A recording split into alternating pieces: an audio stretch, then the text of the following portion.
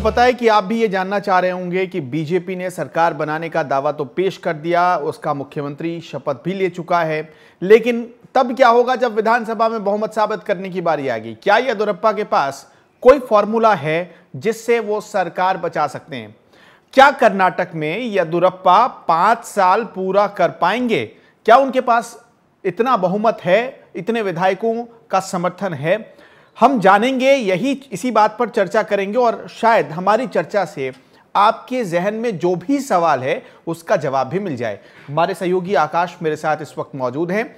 आकाश, कुछ फॉर्मूला तो येदुरप्पा ने तैयार किया होगा? निश्चित ही। सबसे पहले विधानसभा में बहुमत साबित करने से पहले कल सुप्रीम कोर्ट में सुबह साढ़े दस बजे भारतीय जनता पार्टी को कर्नाटक बीजेपी को ये साबित करना होगा। येदुरप्पा के सामने एक बड़ी चुनौती है कि वो क्या बताएँगे। समर्थन लिस्ट में किस किस विधायक का नाम बताएँगे। इसके लिए अंदरूनी एक प्लान तैयार किया गया है हम्म। कि जो जो अगर हमारे विधायक हमारे साथ आ जाते हैं तो उनके लिए क्या कुछ है। भारतीय जनता पार्टी इसको पॉलिटिकल ऑफ़र आप कह सकते हैं कि किस तरीके से अपने पक्ष में बुलाने के लिए भारतीय जनता पार्टी ने एक प्लान तैयार किया है कर्नाटक में। पहला प्लान ये है कि जो विधायक साथ आएँगे उसमें से एक को डिप्टी सीएम का पद दिया जाएगा। हम्म। उसमें से एक को चूँकि मुख्यमंत्री के तौर पर में उन्होंने शपथ ले ली है येदुरप्पा ने तो अब एक को डिप्टी सीएम बनाया जाएगा। इसके बाद जो और बाकी विधायक आएँगे उसमें से छह को बताया गया कि मंत्री पद का आश्वासन दिया जाएगा कि आपको मंत्री बना देंगे। ये एक लोभ दिया जाएगा इसको लोभ ही कह सकते हैं। और देखा जाएगा कि इस लालच के जाल में कौन कौन से जो जाते हैं। हाँ मछली है वो फंस जाती है। तो एक, ये प्लान है कि छह विधायक को मंत्री पद का आश्वासन दिया जाएगा कि आपको हम मंत्री बना देंगे। और इस बात पर में आते हैं विधायक या नहीं आते हैं। वैसे बहुत सारे ऐसे विधायक होते हैं जिन्हें पता है कि उनका करियर विधायक बनकर ही खत्म हो जाएगा। उन्हें अचानक अगर मिल जाए कि मंत्री पद है तो वो आ जाते हैं। तो एक ये प्लान तैयार किया गया है। इसके बाद यह है कि जो भी पार्टी विधायक का पद छोड़ देंगे, उनके लिए पार्टी ने एक प्लान ये तैयार किया है कि अगले विधानसभा चुनाव में पार्टी उन्हें टिकट देगी। हम्म। अब कोई विधायक है वो फिर विधायक के पद से हट जाए एक तो बहुत मुश्किल से इतने धन बल के साथ चुनाव जीतने के बाद भी अगर वो हट जाए तो फिर क्या उससे उनको क्या फ़ायदा होगा? तो पार्टी ने एक और गारंटी तैयार किया है कि अगले चुनाव में आप जीत जाएँगे इस बात के लिए गारंटी है। इस बात की पार्टी गारंटी ले रही है कि आप चुनाव जीत जाएँगे। भारतीय जनता पार्टी के पास एक प्लान ये भी है। हम्म। इसके बाद ये है कि अगले दो महीने में कर्नाटक में बीस विधान परिषद के सीटें खाली सीटें जो है वो खाली हो रही है। जो चुनाव में नहीं जाना चाहते हैं जो विधायक जो साथ आएँगे ये प्लान उनके लिए है। और 20 जो सीटें खाली हो रही है अगले दो महीने तक जून से लेकर जुलाई तक उसमें होगा ये कि जो चुनाव में नहीं जाना चाहेंगे जो पाँच साल का इंतज़ार नहीं कर, करना चाहेंगे उनको विधान परिषद भेज दिया जाएगा। तो पार्टी ने ये प्लान तैयार किया है। अब देखना यह है कि येदुरप्पा का जो ये प्लान है इस प्लान में कितने लोग फंस जाते हैं। हाँ, कितनी मछलियाँ फंसती हैं। हाँ, बहरहाल वैसे जो इस वक्त निगरानी की जा रही है कांग्रेस और जेडीएस की तरफ़ से लगता नहीं कि कोई छिटक पाएगा क्योंकि फ़ोन तक बताया जा रहा है कि जब्त कर लिया गया है। नहीं तो कोई विधायक इसमें सीधे बात नहीं करता है। हम्म। इतिहास रहा है उत्तराखंड में हॉर्स ट्रेडिंग कई जगह झारखंड में कई दफे हुआ। तो आप जब देखेंगे तो कोई विधायक इसमें सीधे रूप से संलग्न नहीं होता है। कोई विधायक का अपना एक आदमी होगा वो बात कर रहा होगा। विधायक का फ़ोन नहीं है ना विधायक के पास फ़ोन नहीं है। उसका आदमी उसकी उससे बात कर ही रहा होगा कि क्या करना है। लेकिन अब जेडीएस और कांग्रेस को इस बात की एक चुनौती है कि वो किस तरीके से अपने विधायक को बचा लेते हैं। हम्म। बचा लें तो बहुत अच्छा है और नहीं बचाएँ वैसे एक बात और आप निश्चित तौर पर जान लीजिए कि अगर येदुरप्पा ने सीएम पद की शपथ ली है इससे पहले वो दो बार बन चुके हैं। तो जब पहली बार वो विधायक बने मुख्यमंत्री बने थे तो वो सिर्फ़ सात दिन के लिए बने थे। तो इस बार कम से कम उन्हें तो ये होगा कि इस बार कुछ दिन के लिए नहीं कुछ साल के लिए बने। और निश्चित तौर पर ये एक चुनौती है उनके लिए। ऐसे येदुरप्पा का रिकॉर्ड भी रहा है कि पाँच साल वो राज नहीं कर पाए शासन हाँ, नहीं कर पाए पाँच साल वो राज नहीं कर पाए हैं। येदुरप्पा का ये भी रिकॉर्ड रहा है। लेकिन अब ये भी है ऐसे मौके पर खास तौर पर सभी पार्टियों की एक भाषा तो ज़रूर होती है एक भाषा वो है अंतरात्मा की आवाज़ सुनिए। हाँ ये अंतरात्मा की आवाज़ जो है वो किस विधायक के अंतरात्मा की आवाज़ आज रात में जाग जाए हम्म। सुबह साढ़े दस बजे तक बड़ा इंटरेस्टिंग है कि पहले सुप्रीम कोर्ट ने जब सुनवाई हो रही थी उस सुनवाई को मैं देख रहा था तो पहले सुप्रीम कोर्ट की ओर से टिप्पणी की गई कि गुरुवार को ही दोपहर दो बजे तक येदुरप्पा समर्थन की चिट्ठी जो है वो सौंप दें हम्म। अचानक पाँच मिनट में स्टेटमेंट चेंज हो गया बताया गया कि नहीं अब ये जो है शुक्रवार सुबह साढ़े दस बजे आप समर्थन की चिट्ठी लेकर सुप्रीम कोर्ट आइए तो ये जो एक मोहलत दी गई हाँ ये जो एक मोहलत दी गई बीस साढ़े बीस घंटे की तो इसमें येदुरप्पा को एक ये मार्जिन मिला है कि आप इसमें आइए अपना जो की चिट्ठी अपसेट पता नहीं येदुरप्पा के पास आंकड़े है या नहीं लेकिन पूरे कॉन्फिडेंस में नज़र आ रहे हैं।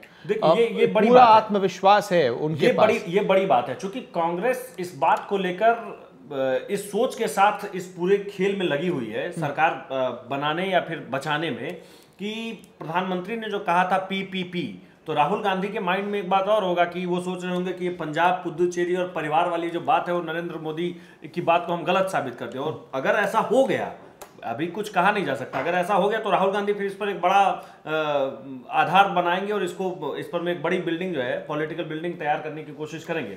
इसमें एक बात और है इसमें एक बात और ये है कि सीधे तौर पर इसमें येदुरप्पा की सियासत जो है उनका अपना जो पॉलिटिकल करियर है वो तो फंसा हुआ है ही। इसमें नरेंद्र मोदी और अमित शाह भी बुरी अच्छा एक बात एक बात और देखने वाली बात है।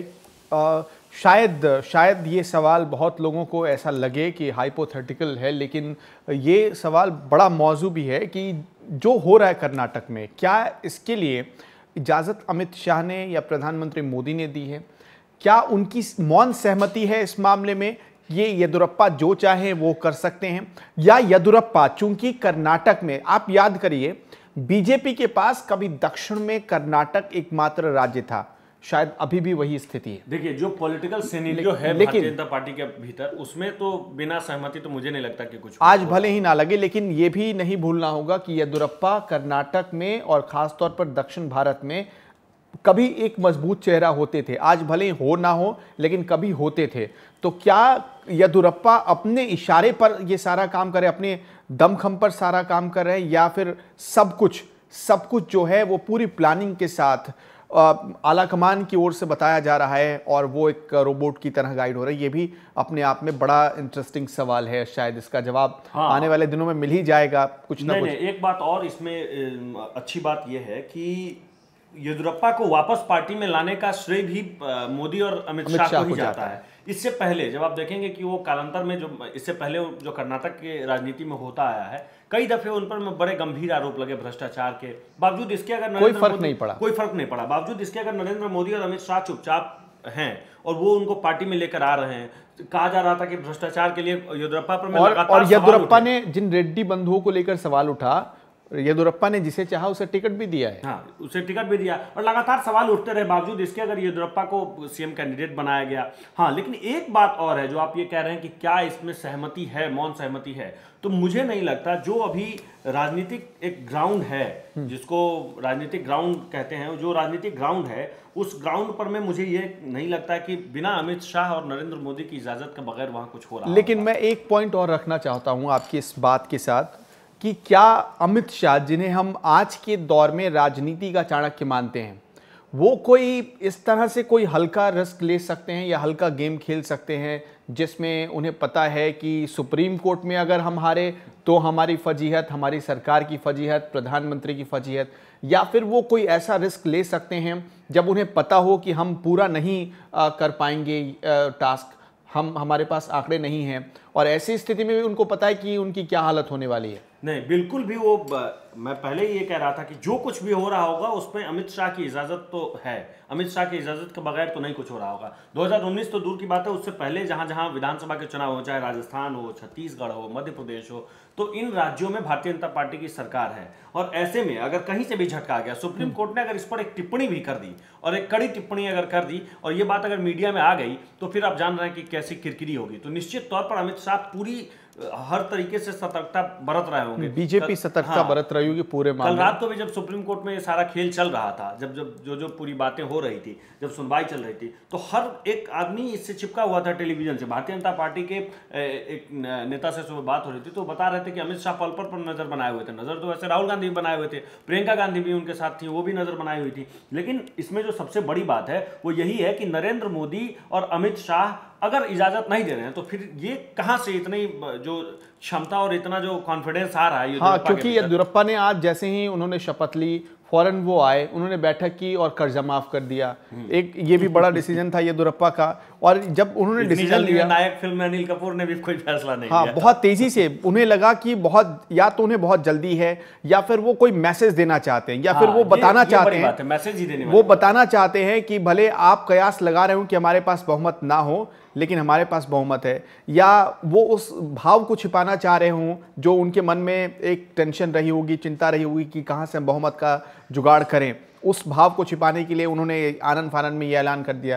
खैर इसके लिए थोड़ा इंतज़ार और बस बात कुछ ही घंटों में। एक बात और है कि पर्दा उठ जाएगा। इसमें अमित शाह जो है वो कहीं भी सरकार बनाने या कैसे बनेगी इस बात का कहीं कोई ज़िक्र नहीं कर रहे हैं। ये ये नहीं कह रहे हैं कि मैं ले आऊँगा। वो अटैकिंग मोड में है। वो राहुल गांधी पर अटैक कर रहे हैं। वो कह रहे हैं कि राहुल गांधी इतिहास नहीं याद कर रहे हैं उनकी पार्टी ने क्या क्या किया कांग्रेस ने क्या क्या किया ये याद नहीं कर रहे हैं। तो राहुल गांधी की बातों पर में किस तरीके से भारतीय जनता पार्टी के नेता जवाब दे रहे हैं? अमित शाह बोल रहे हैं। नरेंद्र मोदी बिल्कुल खामोश हैं। येदुरप्पा जैसे आप बता रहे हैं कि आए और तुरंत उन्होंने ताबड़तोड़ फैसले लेने शुरू कर दिए।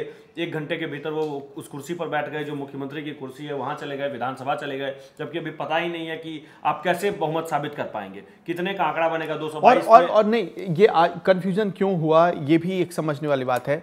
बीजेपी ने ट्वीट किया फिर उस ट्वीट को डिलीट किया जाता है और अचानक फिर शपथ ग्रहण कार्यक्रम भी सुबह हो जाता है। तो मुझे लगता है कि क्या पार्टी भी दुविधा में है कि हमें बताना है, छिपाना है? क्या करना है? शायद पार्टी भी दुविधा में है। नहीं नहीं, ये सब कुछ जब रात सुप्रीम कोर्ट में जब सब कुछ चल रहा था तो पहले सुप्रीम कोर्ट ने सुबह साढ़े चार बजे के आसपास में इस बात पर टिप्पणी की। गुरुवार सुबह साढ़े चार बजे में सुप्रीम कोर्ट की पहली टिप्पणी आई कि हम इसको नहीं रोक सकते हैं। हम शपथ ग्रहण को नहीं रोकेंगे। ये जो एक शपथ कार्यक्रम होने वाला है, इसे हम नहीं रोकेंगे, क्योंकि कुछ घंटे पहले हम कैसे रोक सकते हैं? फिर हुआ कि ये सिर्फ़ मौखिक टिप्पणी थी, इस पर मैं कोई लिखित टिप्पणी नहीं आई, या सुप्रीम कोर्ट का अंतिम फैसला नहीं है, इस पर मैं बात चलती रही। अभिषेक मनु सिंघवी कांग्रेस की तरफ़ से बोल रहे थे, अभिषेक मनु सिंघवी कांग्रेस की तरफ़ से वकील थे। उन्होंने कहा सुप्रीम कोर्ट में, वो सिर्फ़ इस बात पे अड़े हुए थे कि ये सुबह साढ़े नौ बजे ना हो। जो ये नौ, साढ़े नौ बजे जो शपथ ग्रहण कार्यक्रम होने वाला है, ये शपथ ग्रहण नौ, साढ़े नौ में ना हो, वो चाह रहे थे कि ये टाइम थोड़ा सा बढ़ जाए, वो शाम में हो जाए। शाम में अगर हो जाता तो फिर ये जनरल बेंच पर आ जाती बातें, तब फिर कांग्रेस इस पर याचिका डाल सकती थी, लेकिन ये मौका नहीं मिला। और इतने आनंद फानंद में हुआ, वैसे किसी को पता ही नहीं था कि सुप्रीम कोर्ट क्या करेगी। सुबह साढ़े बजे पौने छः बजे के आसपास ये क्लियर हुआ कि नहीं, आप जो है, वो कर सकते हैं, शपथ ग्रहण कर सकते हैं। फिर फटाफट राजभवन में तैयारी शुरू हुई। येदियुरप्पा को भी बहुत ज़्यादा मौका नहीं मिला होगा कि नए कुर्ते सिलवा लें हो सकता है बहुत पहले से अपना सिलवा कर रखे हो कि मुझे क्या पहन कर जाना है, क्या करना है।